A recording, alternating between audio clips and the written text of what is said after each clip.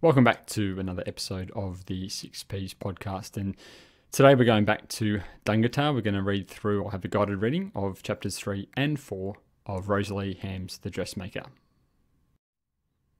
In terms of our areas of comparison, when we look to compare the dressmaker with the crucible, today we're going to be having a look at a couple. They are insular communities, blame and guilt, gender roles, and the abuse of power and we'll try and make some connections with the Crucible uh, today, a couple if we can, as we read through this. So, summaries of the chapters 3 and 4 while we are introduced to the McSwiney family who live by the tip close to Tilly and Molly. Tilly and Teddy meet, and this is the beginning of their relationship that ends up being a romantic one. In chapter 4, Tilly takes Molly to visit the town, uh, and many of the townspeople observe her attentively, and quite cautiously as well. And we're also introduced to Irma Almanac, who uh, the wife of the pharmacist who we met in the previous chapter. But let's begin our reading. There was a gap in the McSwiney children after Barney. A pause. They had got used to him and decided there wasn't really much wrong, really, and started again fairly quickly. In all, there were now 11 McSwiney offspring. Teddy was May's firstborn, her dashing boy, cheeky, quick, and canny. He ran a card game at the pub on Thursday nights and two up on Fridays. Organised the Saturday night dances, was the SP bookie, that uh, is the bookmaker at the races, and owned all the sweeps on Cup Day, and was first to raffle a chook if funds were needed by anyone for anything. They said Teddy McSwiney could sell a sailor seawater. He was Dungatar's highly valued full forward. He was charming, and nice girls loved him, but he was a McSwiney.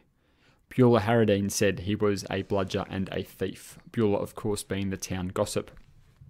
We get an idea here of um, the social status, though, of the McSwineys. They're at the very bottom end of society. They are the poor family, but Teddy has some status in the community because he's a very good football player. And we know from previously that football plays a really important role within this community. He was sitting on an old bus seat outside his caravan, cutting his toenails, looking up from time to time at the smoke drifting from Mad Molly's chimney. His sisters were in the middle of the yard, bobbing up and down over soap sud sheets, in an old bathtub that also served as a bathroom, a drinking trough for the horse, and, in summer, when the creek was low and leech ridden, a swimming pool for the littlies. May McSweeney, who is the mother of the family, flopped some sodden sheets over the telegraph wire slung between the caravans and spread them out, moving the pet galah sideways.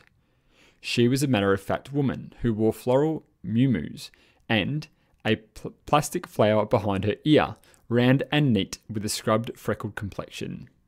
She took the pegs from her mouth and said to her eldest boy, You remember Myrtle Dunnage left town as a youngster when. I remember, said Teddy. We get this idea that the whole town remembers Tilly and the reason why she left, and that will be revealed a little bit later on in the text.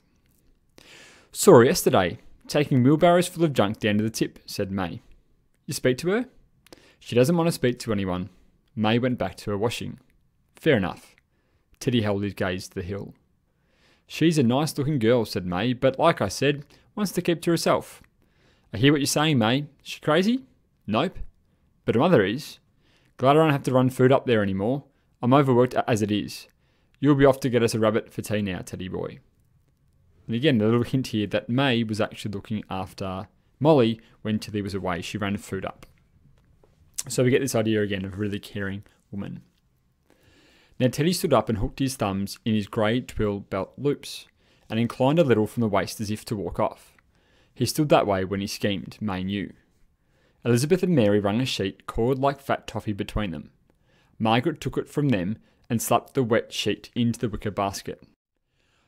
Not fricassee rabbit again, mum. Very well then, Princess Margaret.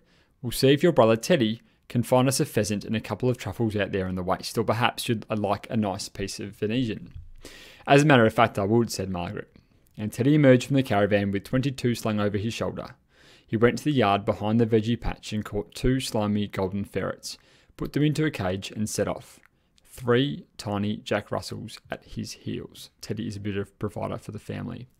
Notice that um, the McSwiney family, yes, they are called McSwiney. We get that sort of reference to swine.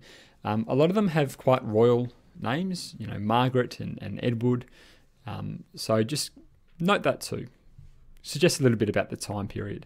So, of course, um, Queen Elizabeth II, her first visit to Australia, in fact, the first visit of any monarch to Australia happened in 1954. Around this time, this is set.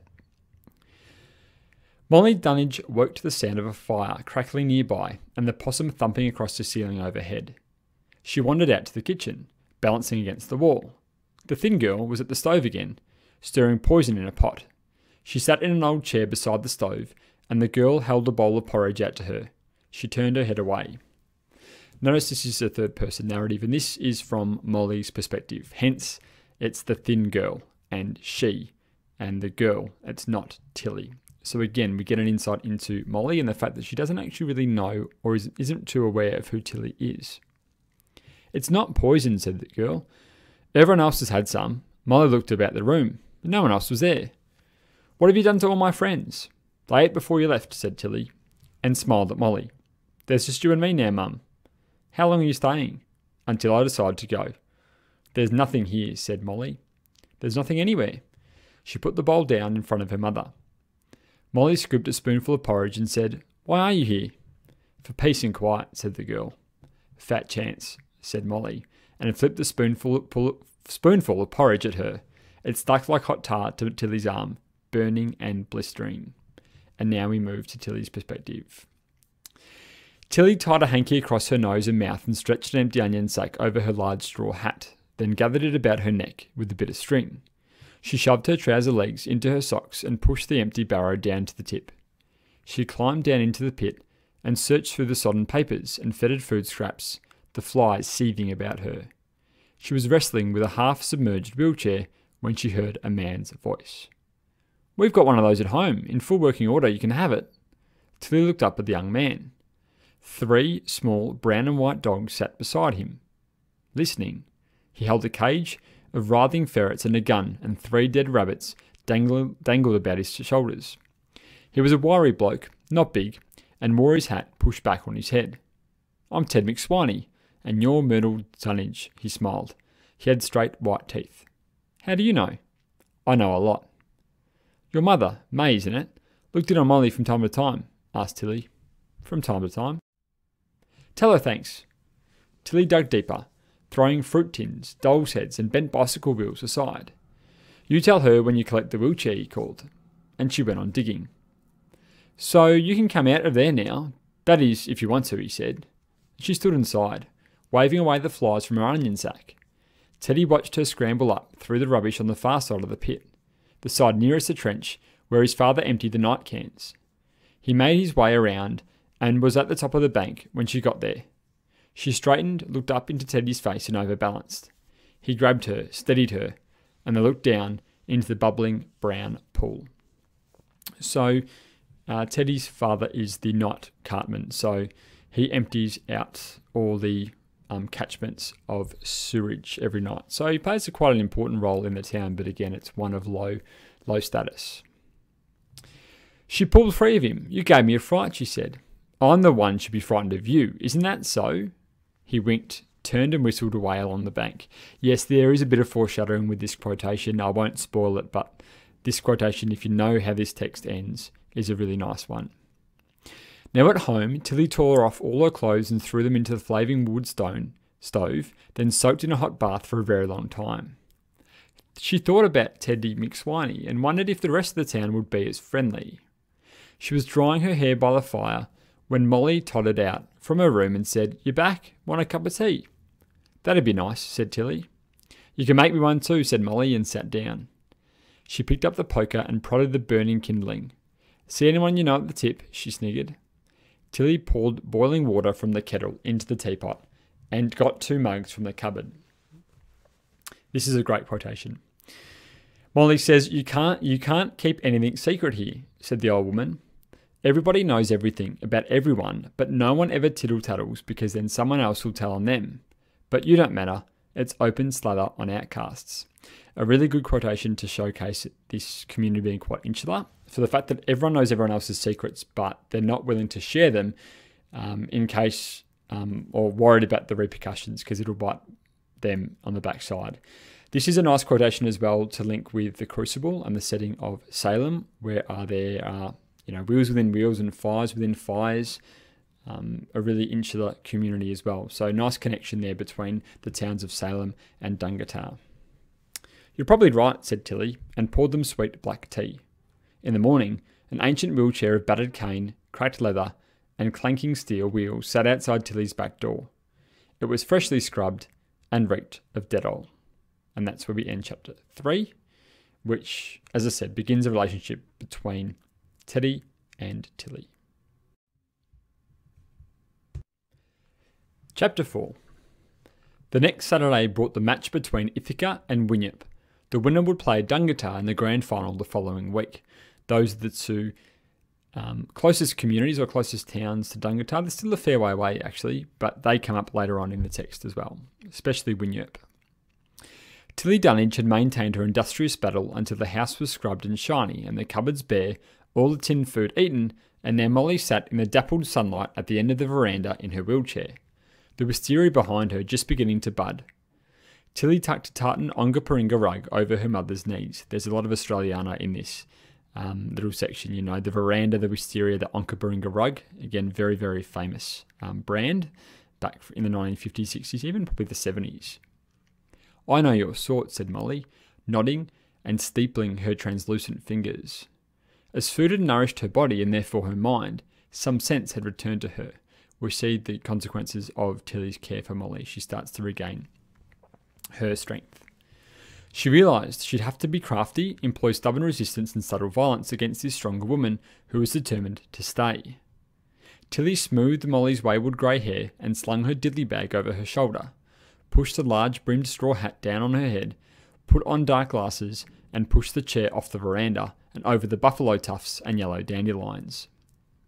At the gateposts, they paused and looked down. Yes, they are looking down on the town from up on the hill. This is a continual motif throughout the text. In the main street, the Saturday shoppers came and went or stood about in groups. Tilly drew breath and pushed on, showing her courage there. Molly held the wicker armrests and bellowed all the way to the bottom of the hill. So, so you are going to kill me, she cried. No, said Tilly, and wiped her sweaty palms on her trousers. The others were happy to let you die.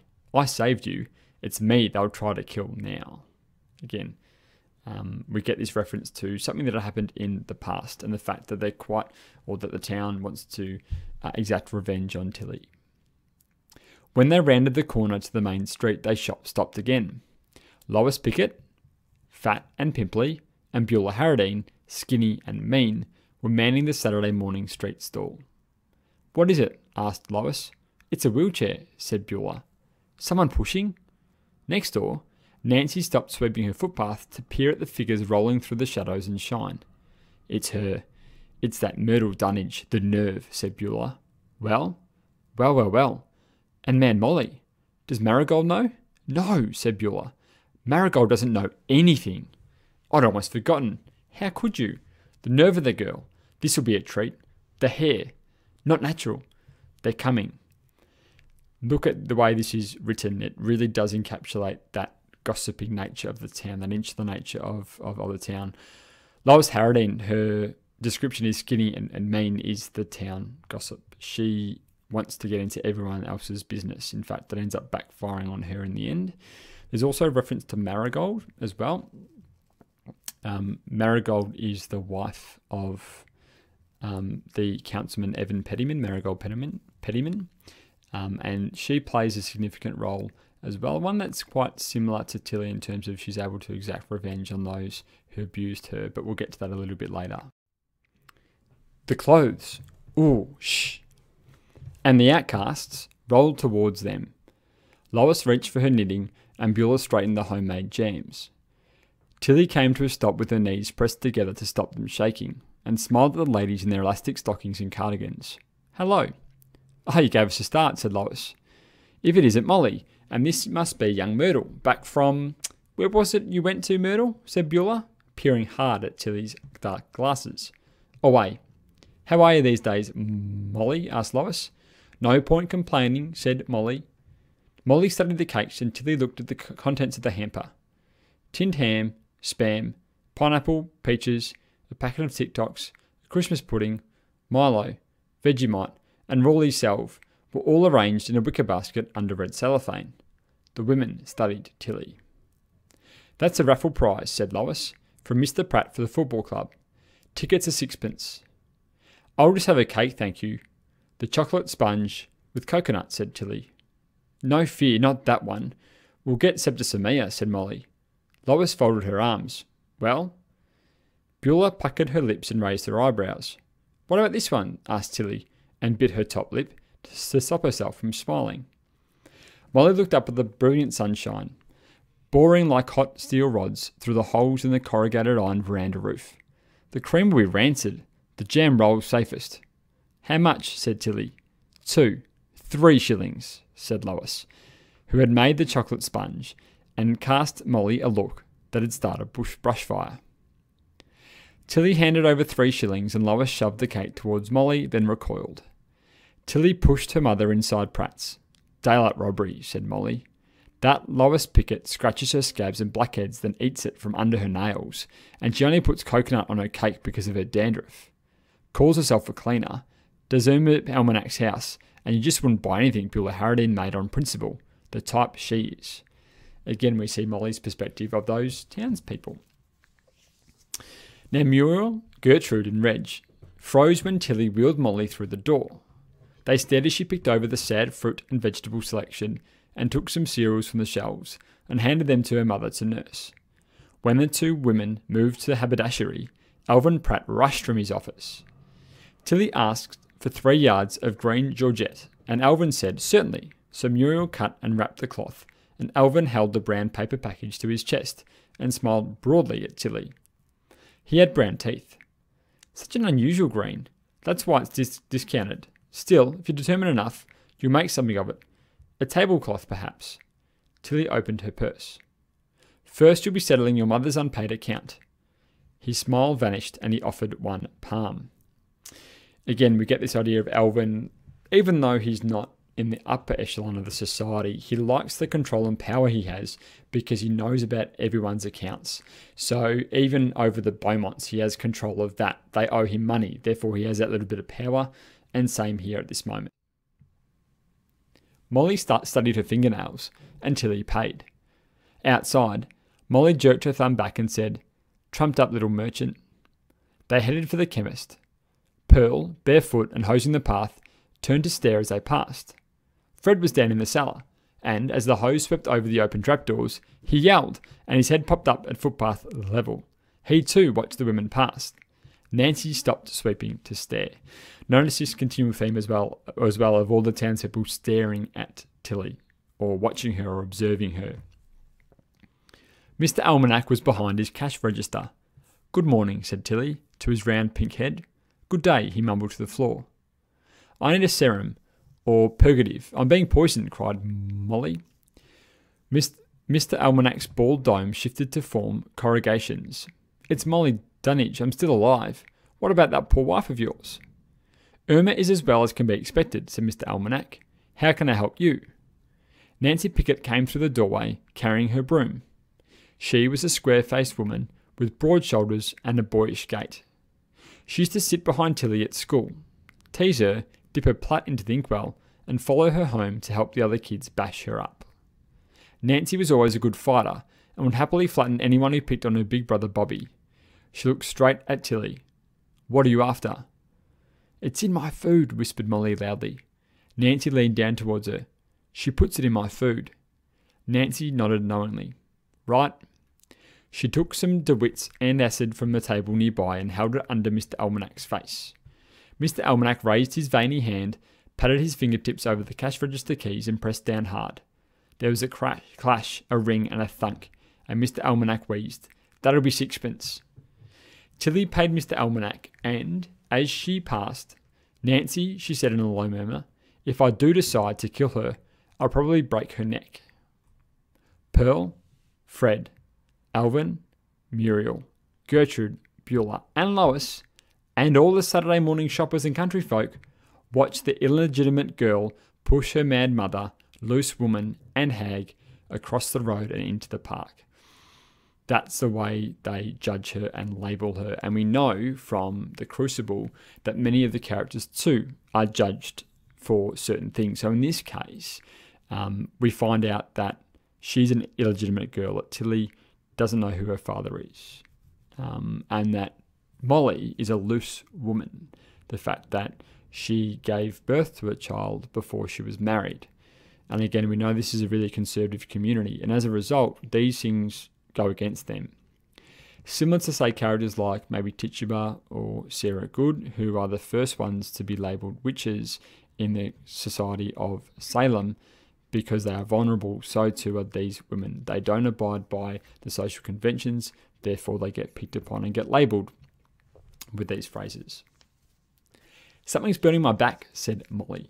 You should be used to it by now, said Tilly.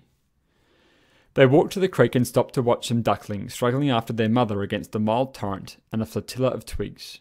They passed Irma Almanac, framed by her roses, warming her bones in the sunlight at the front gate. A stiff, faded form with a loud knee rug and knuckles like ginger roots. The disease that crippled Mrs. Almanac was, was rheumatoid arthritis.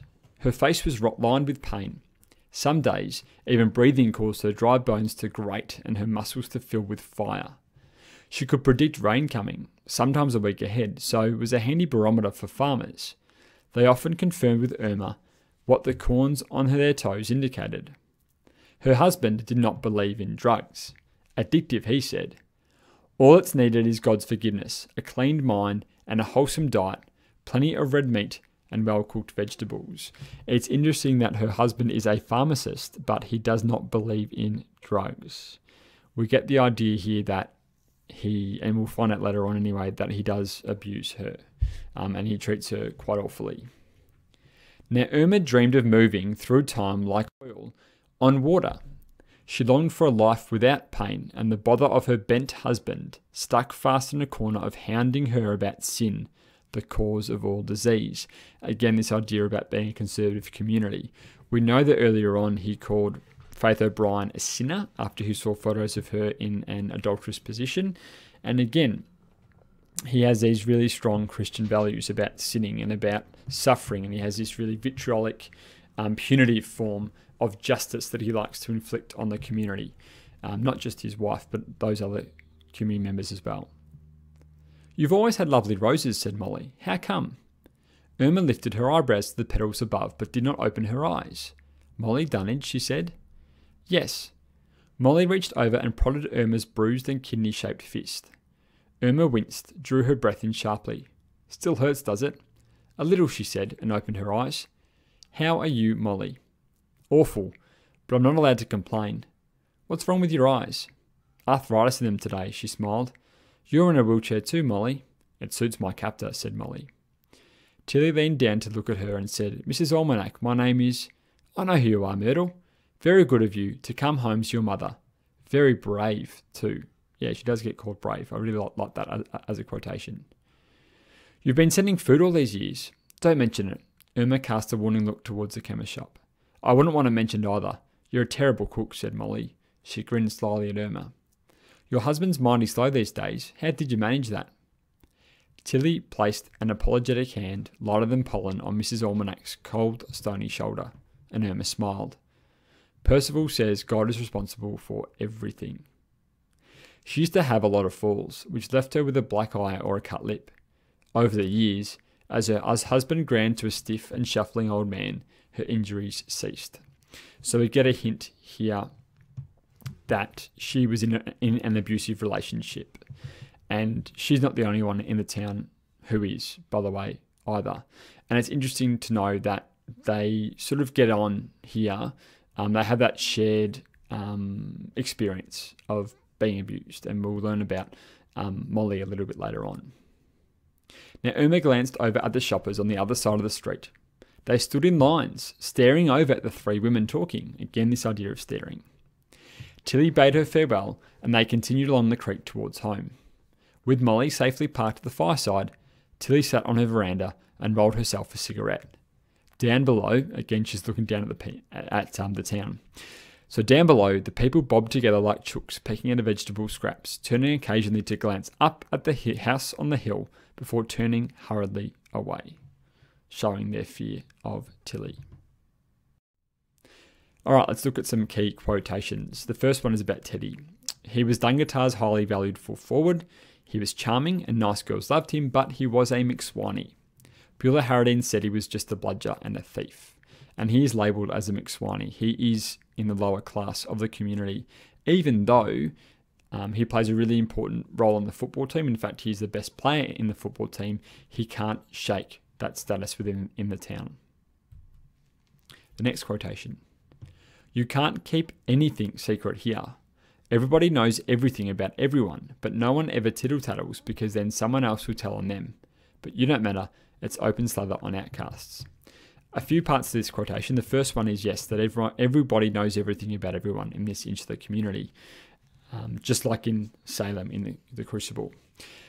But no one ever tells um, or shares other people's secrets. They keep them to themselves because of fear of the repercussions. But that doesn't matter to outcasts like Tilly. So people are happy to spread rumors and secrets about Tilly and Molly because they're outcasts.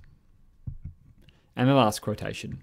She used to have a lot of falls, which left her with a black eye and a cut lip, and over the years, as her husband ground to a stiff, shuff, shuffling old man, her injuries ceased. And this quotation refers to Irma Almanac and her abusive husband. We'll find out later on throughout the text there are a number of men who abuse their wives or who abuse women, and it's part of that, again, that conservative, patriarchal community of Dungatar.